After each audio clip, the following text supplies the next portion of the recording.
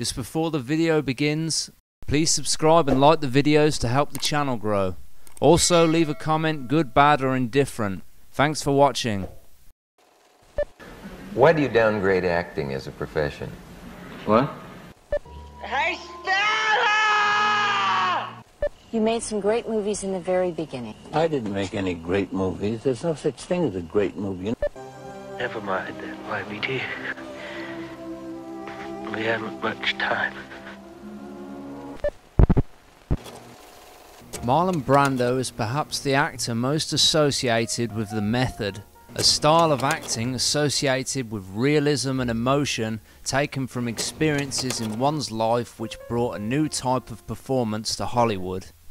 His turbulent career saw him win Oscars and be nominated for Razzie Awards. Critics praised and panned him throughout his acting life. I've gathered together information from various biographies of his life and I'll be talking about various times in Brando's life, his family, his behaviour as an actor, his behaviour as a person. What's the matter? You, you don't dig rat?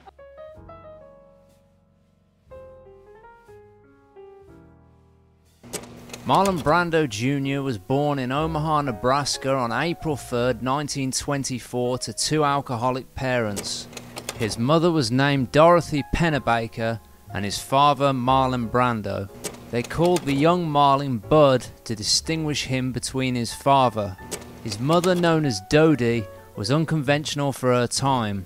She smoked cigarettes, wore pants, and drove cars. An actress herself and a theatre administrator, she helped Henry Fonda begin his acting career. Marlon developed an ability to absorb the mannerisms of children he played with and displayed them dramatically while staying in character. He was introduced to neighbourhood boy Wally Cox, and the two were the closest of friends. In his autobiography, Songs My Mother Taught Me, Brando expressed sadness when writing about his mother. The anguish that her drinking produced was that she preferred getting drunk to caring for us. Eventually, Dodie and Marlon Sr. attended Alcoholics Anonymous. My father was a drunk. My mother was very, very poetic. And also a drunk. Brando struggled with rage most of his life, and with his rage, darkness and despair were never far away. One subject that would quickly turn Marlon to rage was his father. I imagine you're just a bit proud of your son right now, aren't you? Well, as an actor, not too proud, but as a man, why, quite proud. Well, I really don't feel I need to defend myself. I can lick this guy with one hand, so. Uh... I was his namesake, but nothing I did ever pleased or interested him. He enjoyed telling me I couldn't do anything right. He had a habit of telling me I would never amount to anything, Brando later said. As he got older, his explosive anger came faster and more furious. He threw paint over a friend's wall when it was being remodeled. He carried a knife and slashed tyres. He shot his BB gun out of the street from his house. By high school, he was stealing money from neighbours' houses.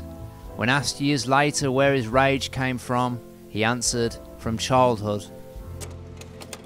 When Marlon was 15, his father brought home a drunk Dodie. In a rage, Marlon Sr. hit his mother who fell to the floor crying. Marlon ran into the room and threatened the older Brando, if you touch her again, I will kill you. Whether it was through remorse or not, the older man backed down. Otherwise, Brando later said, I would have killed him, there's no question in my mind. At an acting workshop soon after, Brando punched a fellow actor in the mouth for touching his crotch. His teachers despaired of him and his high school headmaster referred to him as a bum and good for nothing. His mother Dodie told him if he wanted to be an actor he'd have to spend many years studying the craft, but Marlon Sr. saw acting as no career path.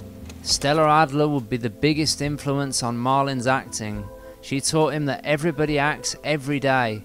If Stella saw one of her students consciously trying to play a part, she would shout, Stop acting! Stella would burst into her acting workshops like an actor appearing on stage. You must listen with your blood, she would shout.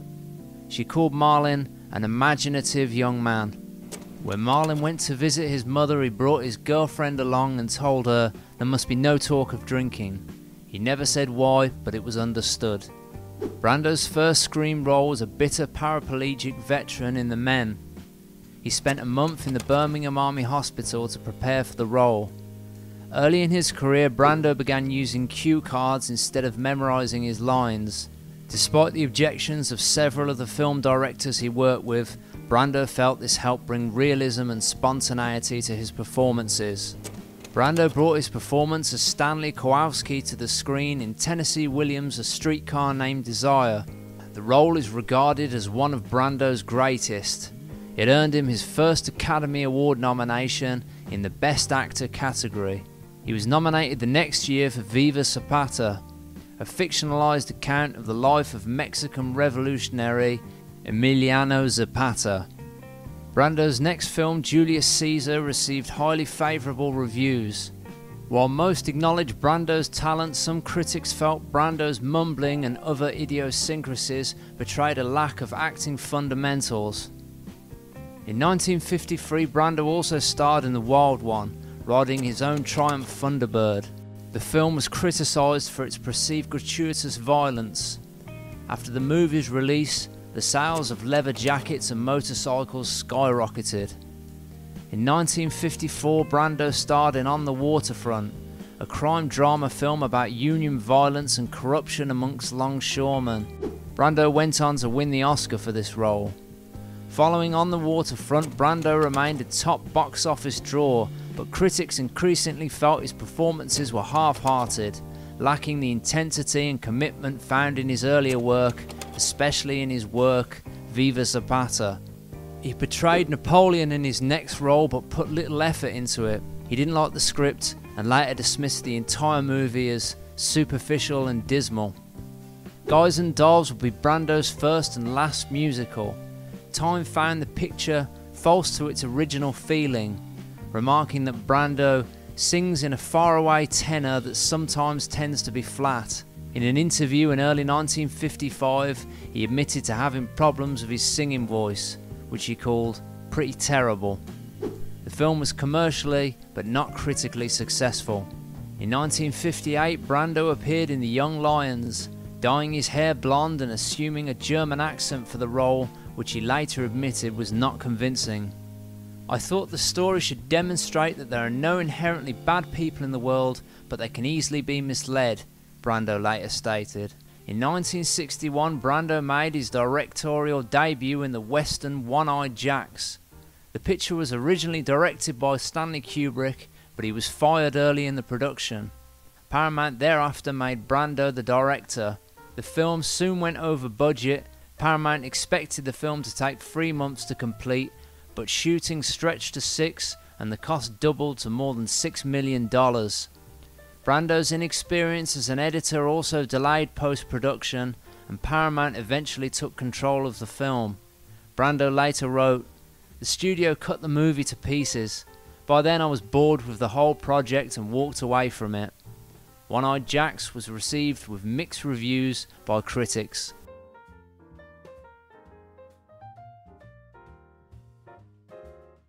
On November 28, 1962, shooting for Mutiny on the Bounty began. When Marlon arrived in Tahiti, the local people greeted him warmly. He spent Christmas Day eating taro root and raw fish marinated in coconut milk, as well as a pig slow roasted over a fire pit. He sat around with the Tahitians listening to their stories and playing along with their music. They don't care who you are, they don't care what you do or what you represent, as long as you're decent, courteous, and generally kind, he said. The kindness especially impressed him. One time he was on the beach watching a group of fishermen and they gave him a basket of fish for no reason. Another time he had a flat tyre and a man came along, fixed the tyre, didn't say one word, and drove off. In the middle of breakfast, lunch, or even while filming, Brando would go out in a canoe with a £10 box of ice cream and sometimes not come back until sunset. Marlon saw the script for Mutiny on the Bounty was in very bad shape and he took upon it himself to rewrite the scenes when needed. I'm taking command of this ship. He went through Frank Lederer's script at breakfast with coconut bread and hot tea. The pages he liked he put to one side and the pages he didn't he tore up. He loathed Clark Gable's portrayal in the 1935 adaptation, stating he hadn't even bothered to speak with an English accent. He carried around a Tahitian dictionary everywhere he went and soon picked up the language. Not only did the film nearly capsize MGM, it also capsized Brando's career. He manipulated directors constantly. He would deliberately give nine bad takes, then give a good take so that one was printed. He also enjoyed playing pranks on his colleagues.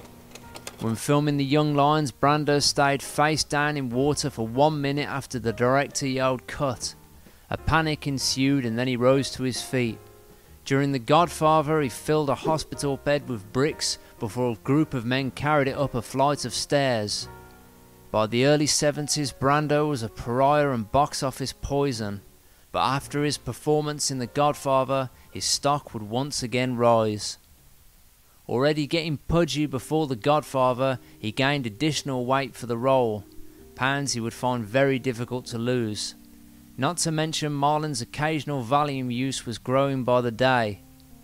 With the success of The Godfather, Marlon was offered all sorts of parts. Radio, magazines, and television were all trying to land an interview with him. Marlon and his on again, off again girlfriend Jill Banner checked themselves into a small hotel in Santa Fe. He planned to go cold turkey from the Valium that had kept his moods even.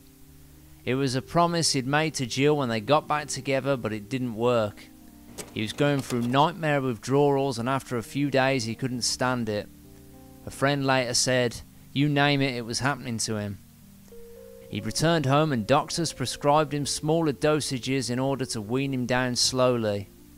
In 1973, his childhood friend Wally Cox died of a heart attack. Brando was devastated. Wally's widow asked Marlon to scatter his ashes, but when she gave them to him, he refused, intending that they be scattered with his own when the time came. A fight then ensued over Wally's ashes, but in the end it was felt Brando needed them more. I'm not sure whether I'll ever forgive Wally for dying, he said. For a long time afterwards, he would curse Wally for leaving him. Food was always a friend, Marlon said. He had progressively been gaining weight since the 60s. According to his personal assistant Alice Marchak, he battled with the eating disorder bulimia. She reveals how, despite his physical stature, the star regularly gorged on food only to vomit it back up in secret. She stated, We'd eat dinner and then Marlon would go to the bathroom and come back and order another meal. She claims she discovered his bulimia when she found him passed out in a bathroom after having hemorrhaged. When shooting Apocalypse Now, Brando arrived on set overweight and he wanted to camouflage that fact. But director Francis Ford Coppola wanted to incorporate this into his character, seeing Colonel Kurtz as a man overindulging in everything, constantly eating. A former employee said in later years he insisted his refrigerator be padlocked to stop his food binges, but Brando would call the local McDonald's and have them toss bags of food over his fence. The next day, his employee would come to work and see empty ice cream cartons and wrappers for Big Macs. His biographer George Englund recalled him saying, It's an addiction. It's like drugs or booze. Sometimes he would go on these diets eating only with chopsticks, and I knew after I'd left he'd be down at Ralph's in the ice cream department.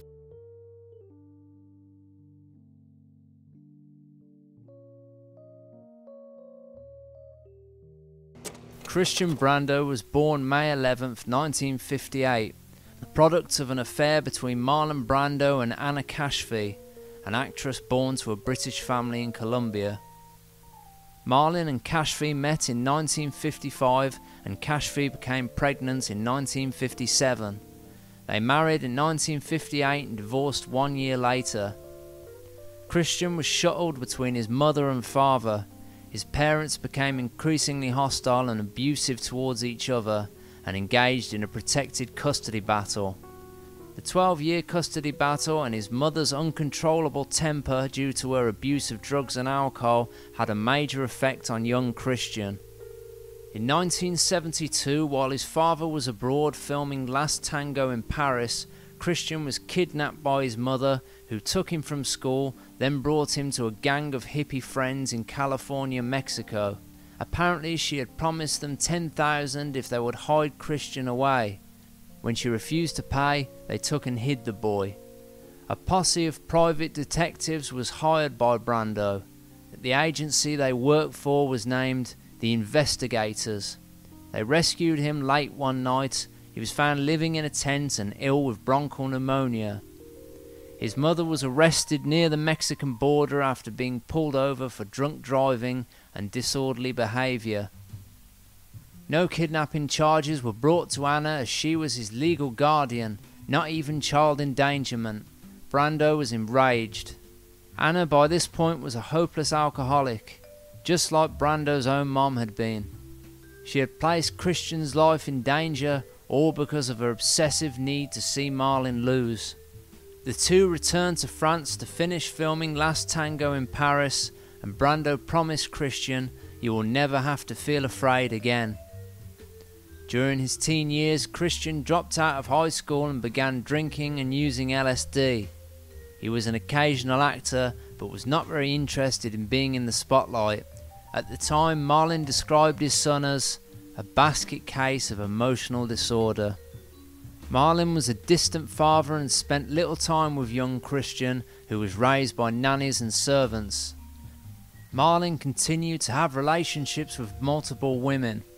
Years later, while commenting on his childhood, Christian said, The family kept changing shape. I'd sit down at the breakfast table and say, Who are you?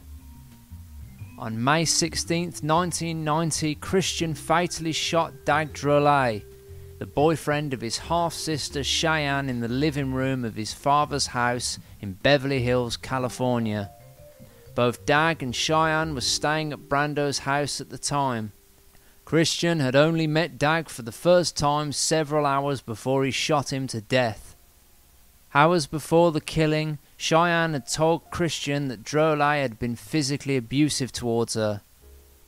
Later, around 11 pm that night, Christian, who admitted to being drunk at the time, confronted Drolet and shot him. In court, Marlon watched on in pain as Christian stood trial. When he took the stand to testify, he was as difficult and rebellious as he was on the movie set. The truth, the whole truth, and nothing but the truth. So help you God? No, I will not swear on God. And uh, you can ask these guys to shut up. No matter what the scenario, Marlon was going to do things his way. I think perhaps I failed as a father, Marlon stated, choking back tears. He saw the trial as the result of everything Christian had suffered in his early years.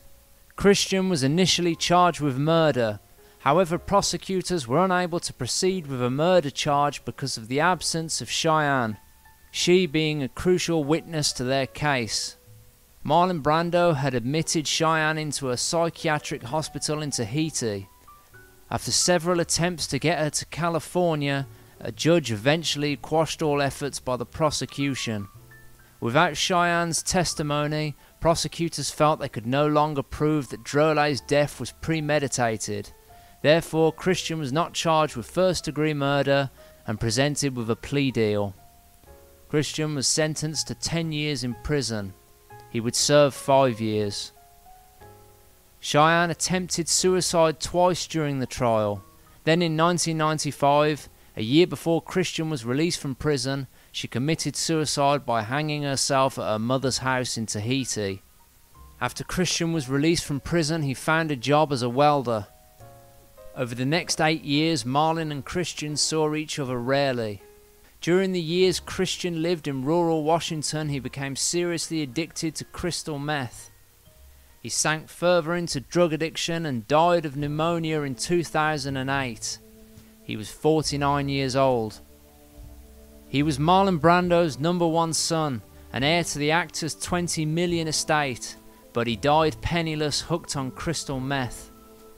Many believe Christian never recovered from the trauma of his early life. In the fights between Marlon and Anna, he was always collateral damage. George Englund, Marlon's oldest friend, later said, There's an old saying, when two elephants fight, the grass is wounded. That's the way I see Christian. He was the wounded ground on which two ferocious elephants fought all those years.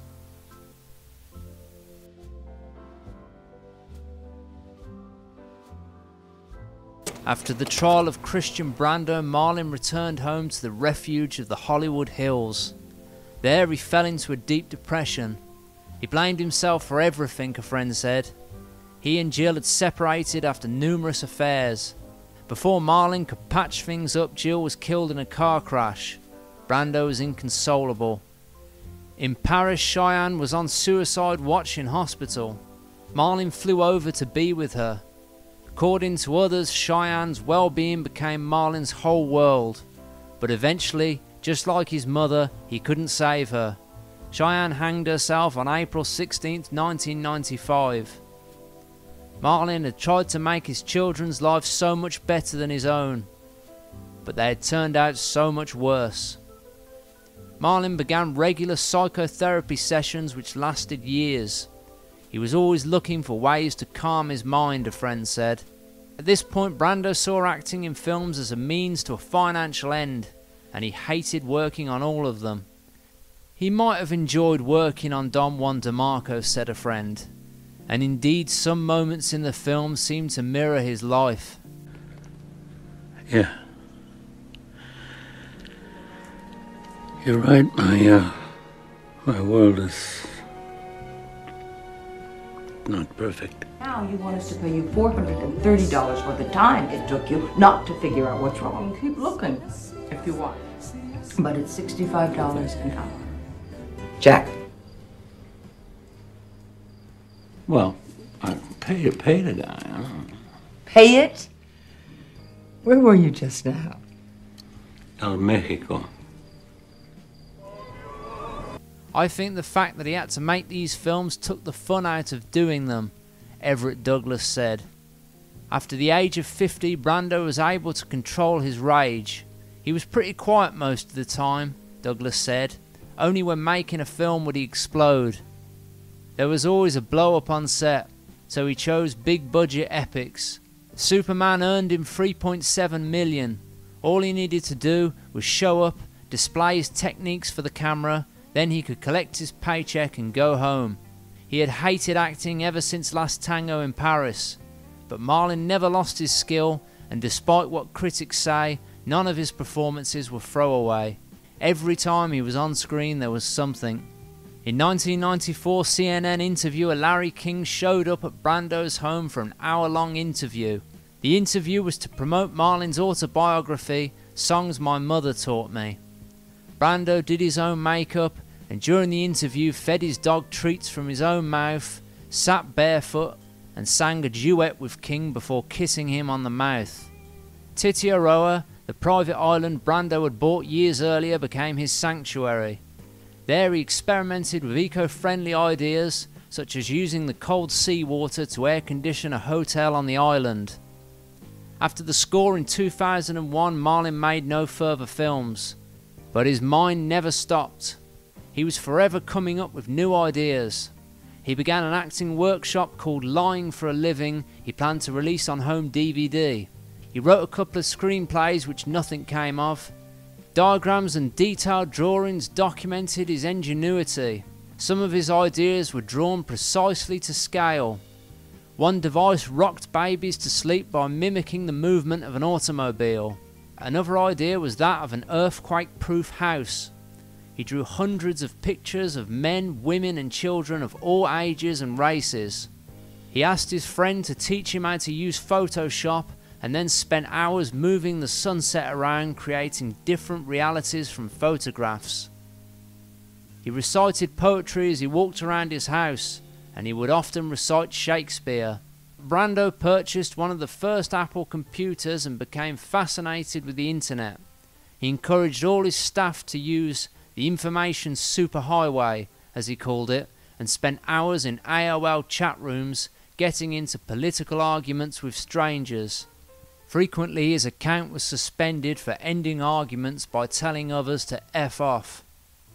Avra Douglas remembered, so many times I had to call AOL and say, that was my kid and he'll never do it again. He used fax machines constantly. He'd send drawings, cartoons, and magazine articles. Ellen Adler stated, At the end of his life, Marlon would just talk on the phone.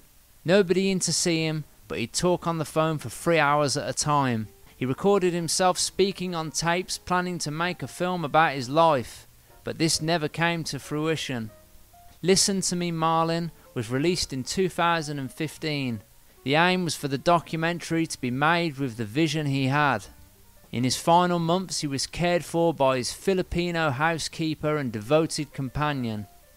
His eyesight was fading and he'd been diagnosed with liver cancer. He lost half his body weight and on July 1st, 2004, Marlon Brando died. He was 80 years old. His ashes were scattered with Wally's in Death Valley just as he'd wanted. To tell every interesting story in Brando's life would be endless, or to analyse or explain his actions would be subjective. Just like his acting, Marlon Brando's character was complicated.